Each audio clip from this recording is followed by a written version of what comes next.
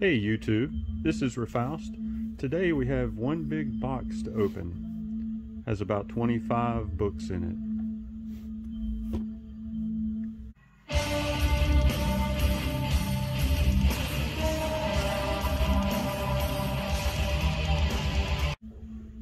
So let's go ahead and get started. so this was a eBay auction win. Um, there were a number of uh, Thor books. Um, I have about 300 through um, 450, I believe, of Thor from the 80s through the 90s, or 90, about 92, I guess. and but I was missing some in the lower 300s, so instead of kind of looking for them, I think seven or eight of them. This was a pretty big lot of 25 books I got. Um, and instead of buying them individually, I, I just got this. Um, so uh, and any any extras I'll, I'll, compare to what I have and see uh, if these are better condition uh, and I'll keep them and, and then I'll fill in the gaps that I do not have. I think there's only one left in the 300s that I do not have. I think it's 322 for some reason. I don't think it's significant book or anything. All right, so they had it packed in a, that paper and now it's in a plastic bag. So let's get this open. All right. Let's see what we have here. Okay, so the first book here is uh, Thor 293. This is from 1979. I know I was saying from 300, but this lot included a few in the 290s, so um, I'll take those, I guess. I might go a little lower in my Thor run. I have Thor 126, so... oh, it feels like... Oh yeah, they so they got two per bag, so... I guess that saves on bag space. I'll be replacing these bags anyway. So this is Thor number 295 from 1980. Storm Giants. Begins the ring, uh, the quest for the Ring of Power. Sounds kind of uh, Tolkien. All right, and this is uh, Thor number 296, also from 1980. A Pollard cover. All right, and then this is pretty cool cover, uh, 298 also from 1980.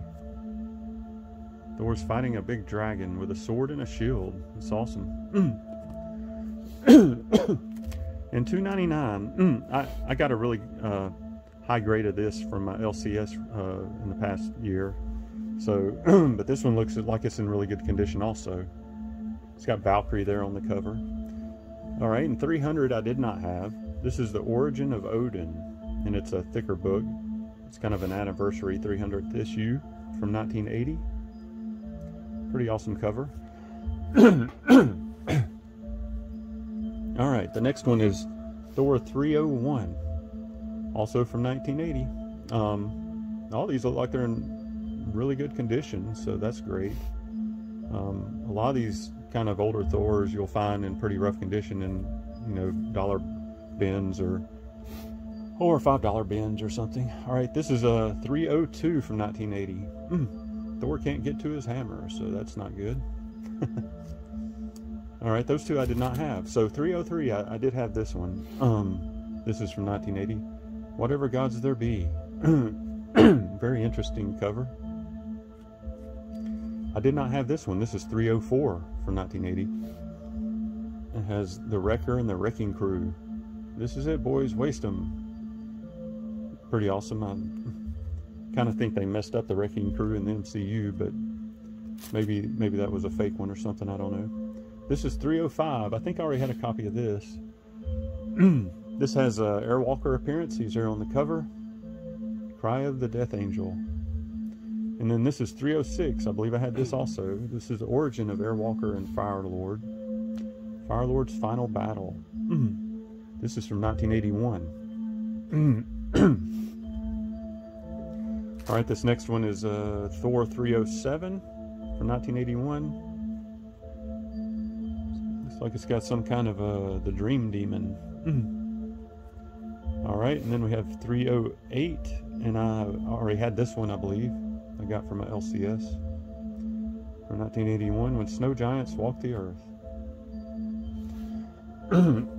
Make a little room there. Sorry for still clearing my throat. I still got little thing going on. Um, all right, this is 309. I don't believe I had this one from 1981.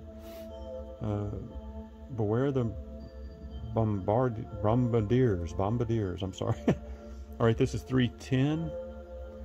I don't think I had this one, or maybe I did. The Maelstrom to Mephisto. I believe I did have that one actually.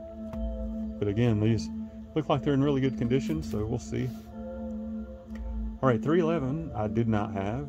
This is 1981, Crisis in the Inner City.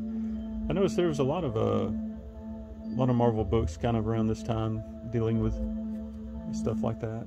Um, in the 60s also. All right, this is 313 from 1981. I had this one already. Thor stands trial in Asgard. It's pretty cool. Mm. All right, the next one we have is 314. And I believe I already had this one. This has Origin of Drax and Moondragon.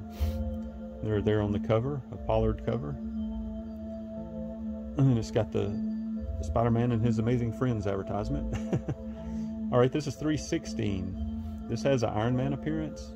And this is um, also from 1981.